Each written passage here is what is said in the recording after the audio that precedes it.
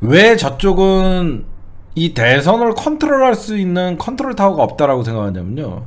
우리 민주 진영에는요. 일단 현 집권인 대통령이 있어요. 그렇죠? 대통령이 있습니다.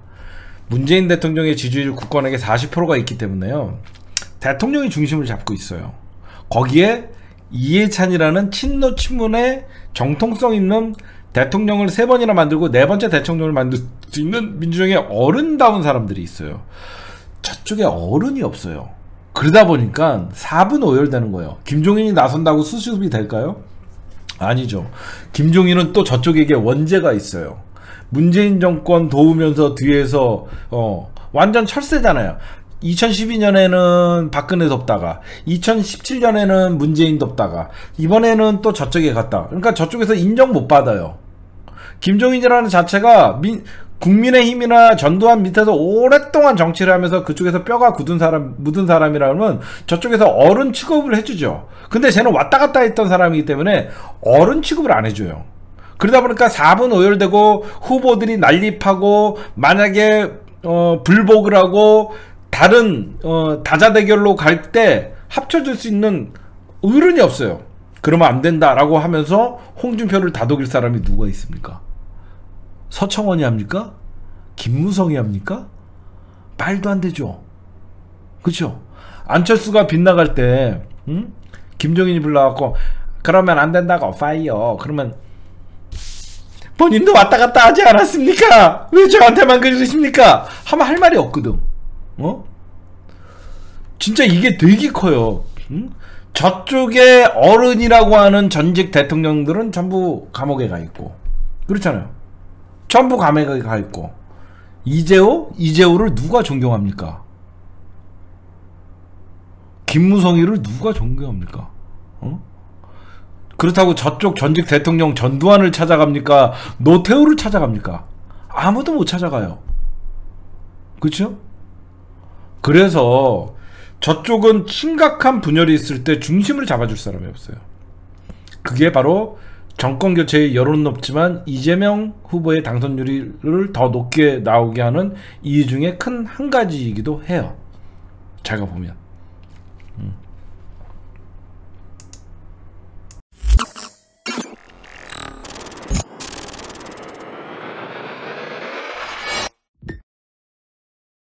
네, 여러분들 이재명 후보님이 첫 대선 경선 아니 그러니까 대선 후보로서의 일정을 광주에서 시작했죠. 어, 타이밍이 끝내주죠. 어? 윤석열은 호남에 어떤 그 가장 상처를 줬을 때 야, 이재명 후보께서 대선 후보로 광주를 시작으로 어, 봉화마을도 갔다 오시고 음? 어, 지금 내일은 드디어 여러분들 그 회동을 하고 그리고 여기저기서 좋은 소식도 많이 들려오고 있죠. 그쵸? 어떤 게 있냐면 검찰이 여러분들 유동규를 배임 혐의가로 기소를 못했어요. 이게 왜 중요한지 아시죠? 검찰이 유동규를 뇌물죄로 기소했어요. 그래서 아마 구속될 거예요. 근데 왜 국민의힘이나 조중동이나 이 새끼들이 왜 유동규 배임 빠졌다고 왜 난리를 치냐. 유동규가 배임 혐의에서 벗어나면 이재명 후보에게 배임을 물을 수가 없거든요. 그렇죠? 이재명 후보가 여기저기서 돈 받았다는 증거는 없잖아요. 근데 유동규가 배임이면 유동규의 상관인 성남시장인 이재명 후보에게도 배임을 물을 수 있기 때문에 검찰에서 이거는 아무리 봐도 응? 민간 영역의 어떤 사업권의 이익 배분에 대해서 이재명 그 당시에 시장이 배임이라고 보기는 어렵다라고 해서 배임 혐의를 유동규에서 뺀 거예요. 이거는 당연히 그러면 이재명 후보에게도 배임 혐의를 얘기를 물을 수가 없는 거거든요. 그렇죠? 그래서 이걸 갖고 난리를 치는 거고 그 다음에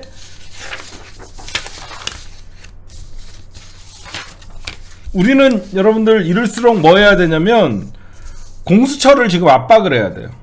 공수처를 왜 압박을 해야 되냐면 지금 공수처에서 어? 김웅과 손중성을 왜 소환하지 않고 있어요? 빨리 소환해야 돼요. 지금 MBC PD 수첩만 봐도 아니 손준성, 김웅 혐의가 드러났는데 공수처에서 빨리 소환을 해야지 소환해서 피의자로 전환이 되면 구속영장을 체포동의안이나 이런 것들을 민주당에서는 기다리고 있어요. 어? 강제 수사 들어가라. 체포동의안 의결할 준비돼 있다. 소경길 대표가 지금 그러고 있어요.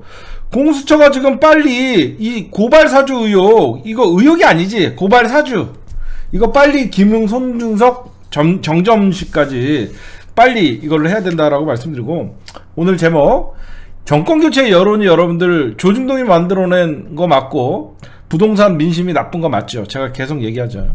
그러다 보니까 정권 교체의 민심이 높은 거 사실이죠. 정치를 잘 모르는 사람들이 이제는 어디가 갖고 그냥 문재인 욕하면 아 정상, 문재인 옹호하면 비정상 이런 사회가 돼 있어요. 이거를 빨리 깨야 된다고 제가 얘기했잖아요. 그러니까 샤이 진보를 만들어 샤이 민주당을 만들어놨어요. 여러분들 주변도 그렇죠. 유튜브를 밖을 벗어나서 밖에 나가면 민주당 잘한다, 문재인 대통령 잘한다 그러면 뭐지? 이상한 사람 취급하죠, 여러분들. 이런 분위기를 사회적 분위기를 전반적으로 이제 우리가 천천히 어떻게 바꿔 나갈 것이냐 이거에 대해서 우리가 굉장히 고민을 해야 돼요. 그러다 보니까 정권 교체가 필요하다는 여론이 50%가 넘는 겁니다. 그럼에도 불구하고 이재명 당선 확률이 더 높게 나와요. 저는 그 원인을 두 가지로 봅니다. 여러분들 왜 좀 이상하잖아. 정권 교체의 여론이 높다 그러면 민주당의 후보가 당연히 대통령이 될 거라는 확률이 당선 확률이 떨어져야 되잖아요. 그렇지 않아요? 상식적으로 생각하면 정권 정권 교체 여론이 막 50% 60% 가면 국민의당에서 당선 확률이 높게 나와야 되는데 이재명으로 나온다는 거죠. 이재명이 당선률이 높다는 거죠. 그건 첫째 뭐냐? 이재명은 검증받은 사람이에요. 그렇죠? 사람들이 생각할 때 이재명은 성남시장 경기도지사를 하면서 이재명은 합니다. 어떤 이재명이라는 사람에 대해서 어? 정말 그 이재명 후보가 자질과 능력 면에서 검증을 더 받은 거죠. 생각해보세요. 윤석열은 검찰총장 이외에 어떤 검증을 받았어요? 모르거든요. 홍준표라는 사람은 그냥 정치인으로서 검증은 받았지만 정말로 코로나 바이러스 19 이후에 사람들이 힘든 때 과연 홍준표가 어떻게 할 것이냐. 경남 도지사 할 때 홍준표의 그 행정 능력은 최악이었거든요. 그쵸? 사람들이 생각할 때 왜 이재명 당선 가능성을 높냐? 여기저기서 민주당은 욕하지만 이재명에 대해서는 호의적인 평가가 굉장히 많다는 거예요. 제가 말만 그런 게 아니라요. 왜 이재명은 민주당의 그러니까 정권 교체의 여론보다 이재명이 당선 가능성이 높냐 중도를 보셔야 돼요. 즉 무당층. 무당층에서 여론조사를 하면요. 누가 가장 당선이 될 것 같습니까?라고 하면 29.4%가 이재명이 당선될 거라고 생각한대요. 그 다음에 2등이 윤석열 23.9%. 홍준표가 23.1%. 음. 이게 왜 그러냐? 정치를 잘 무당층이라는 것은 사실상 중도죠. 어느 정당을 지지하지 않는다라는 사람입니다. 근데 이재명이 당선될 것 같다라고 하는 것은 이 무당층에서 이재명을 지지한다는 소리예요. 결국은. 안 그래요?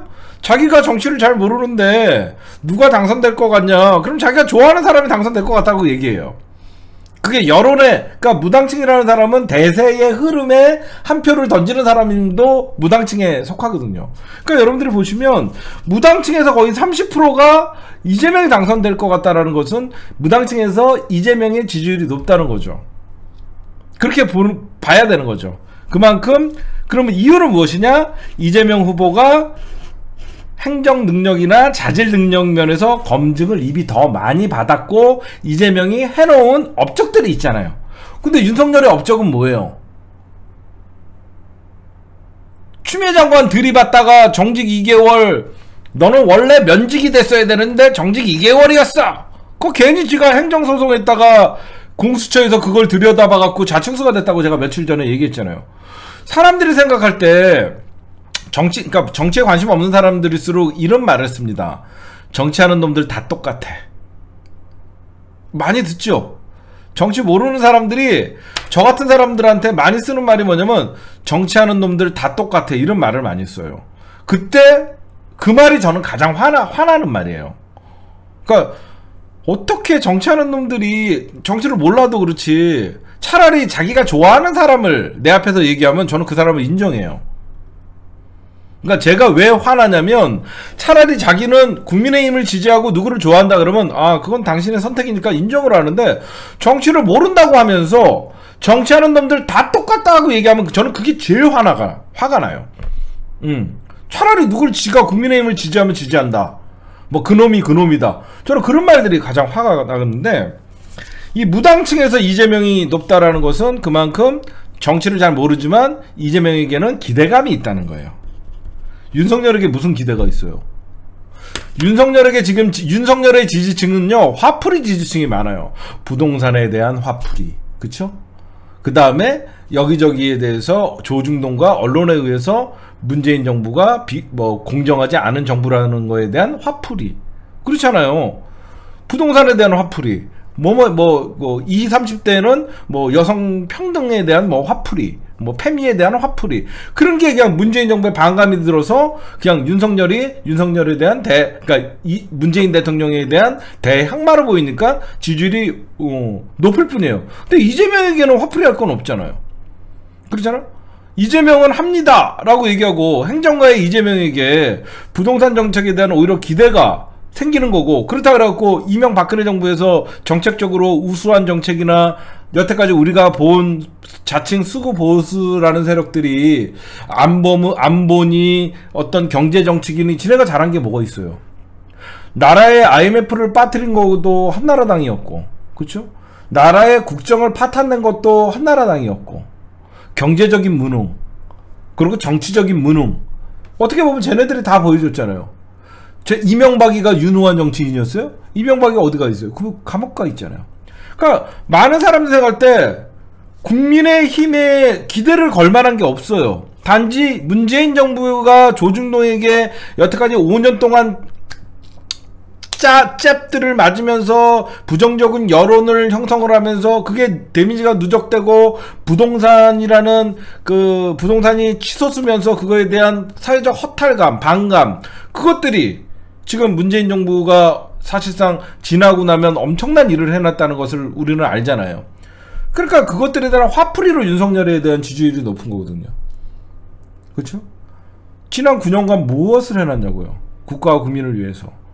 그래서 저는 그러면 제가 얘기했죠. 이재명은 자질과 능력 면에서 이미 검증을 받은 사람이다. 그래서 중도층이 볼 때는 아, 저 사람에게 더 믿음이 가는 것이다. 두 번째 얘기가 더 중요합니다.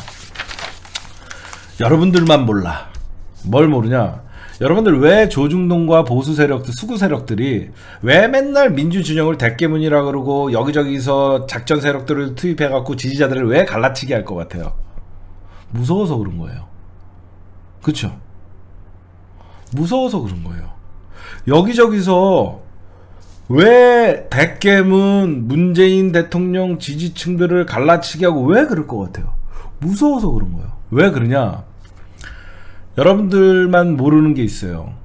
자부심을 가져도 좋을 게 뭐냐면 대선이라는 중요한 선거가 딱 오면요. 지지층 결집이라는 게 있어요. 우리가 맨날 그러잖아요. 민주진영의 지지층이 결집했다. 뭐 국민의힘 지지층이 결집했다. 중요한 건 민주당 지지층의 결집력이 국민의힘 지지층 결집력보다 훨씬 세요. 이게 그들이 가장 두려, 두려워하는 거예요. 대선이 넘어갈까봐 위기감이 오면 올수록요, 민주진영의 지지층의 결집력이 훨씬 세요. 훨씬 세기 때문에 여태까지 이 기울어진 운동장에서도 우리가 정권을 잡고 그들과 동등하게 민주당이라는 70년의 역사를 이어가면서 싸울 수 있는 정당이에요. 응? 그래서 그러니까 지지 그러니까 이재명 후보의 당선 가능성이 높은 것은 민주당의 지지층의 결집도가 국민의힘의 지지층에 비해서 강하기 때문이에요. 왜 그러냐? 이번에 아마 더 그럴 거예요. 민주당 지지층의 결집도는 사실상 경선 과정에서 이낙연이냐 이재명이냐의 어떤 그 자기가 응원하는 후보에 대한 갈등이 있었을 것이지만 실질적으로 상대 국민의 후보가 정해져 있을 경우에는 전체 민주 진영은 이재명에게 표를 줄 수밖에 없는 거예요. 그렇죠? 근데 저쪽은 윤석열이 대권 후보가 될 경우에 원죄가 있는 거예요. 제가 그거를 여러분들 잊지 말아. 지금 민주당만 여러분들 여기저기서 분열되거나 갈라진 게 아니에요. 보이지 않는 국민의 힘의 갈라 완전 분열은요. 윤석열의 등장과 당 동시에 사실상 박근혜 지지층은 분열이 났어요. 박근혜 진영에서 저 새끼가 어디서 대통령 후보로 나와 박근혜를 구속시켰던 새끼가 그렇죠 여러분들 몰라서 그러지 진짜 조원진이나 태극기 부대에서 진짜 강선 태극기 부대는 윤석열을 용서 안 해요 윤석열을 용서 안 하고 그들은 이미 어? 왜 홍준표가 여러분들 윤석열에게 여론조사에서 앞설 것 같아요? 윤석열은 어느 편인지 잘 모르는 거예요. 조중동도 왜 저렇게 윤석열에게 경고 사인을 날려요? 컨트롤이 안 되면 자기 주인도 물어뜯는 어? 멍멍이 새끼인데 저거 저러다가 대통령 되면 어? 여기에 휘둘리고 저기에 휘둘리고 그럼 조중동 때려잡겠다고 하면 우리 죽는 거 아니냐? 조중동은 사실상 모험을 걸 수는 없는 거예요. 그렇잖아요? 조중동은 모험을 걸 수가 없기 때문에 자기네 성향과 같은 사람을 지원을 할 수밖에 없는 거예요. 어? 그렇잖아요. 잘 생각해보면. 조중동이 뭐하러 모험을 걸어요? 자기 주인도 물었었던 문재인 정권에서 이미 한번 배신했던 이미 자기네 박근혜를 구속시키면서 수구 보수에게는 괴멸에 가까운 치명타를 준 윤석열이 문석열, 윤석열, 문재인 정부에서 검찰총장이 되면서 승승장구했던 사실상 문재인 정부의 황태자는 누구야? 윤석열이야. 딱 까놓고 얘기해서 문재인 정부에서 가장 출세하는 거는 윤석열 아니야? 안 그래요? 문재인 정부에서 가장 출세한 사람 누구야? 윤석열이잖아. 지방 대구지검에 있던 놈 올려다가 중앙지검장 맞추고 검찰총장 맞춘 놈을 결국은 문재인 대통령 뒤청순 쳐갖고 나가갖고 지금 국민의힘 가있잖아 응? 민주 진영에서도 용서받지 못할 자 국민의힘 박근혜 지지자들한테도 용서받지 못할 자 이 사람이 과연 대통령이 될까?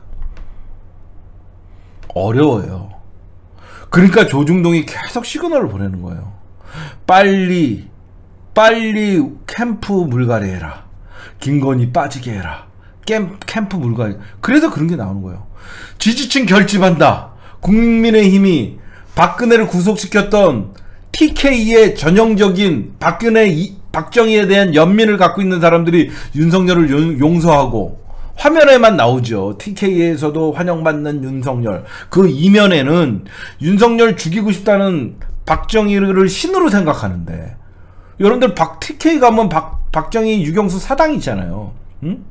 뭐 걔네들은 진짜 박정희를 신으로 생각해요. 그의 딸은 그냥 신의 딸이에요. 자식이에요. 용서 못 한다 그래요. 어? 민주주의에서 문재인 정부에서 가장 승승장구했던 윤석열이 문재인 대통령을 뒤통수 자 양쪽 이중 배신자라는 얘기를 제가 했었잖아요. 어? 진짜 TK 가면요 박정희 대통령 사진 있는 박정희 씨 사진 있는 집도 있어요. 어? 그러니까 여러분들이 이런 것들을 보시면요 우리만 분열이 돼서 여러분들이 걱정할 게 아니라 이미 저쪽은 윤석열의 등장 자체가 수구 보수의 괴멸과 분열의 시작이었다 어? 응? 제말 일리가 있잖아요 아직도 박근혜 하면 절하고 눈물을 흘리고 박정희 하면 탄신제하고 이러는 인간들이 아직도 수십만이 있어요.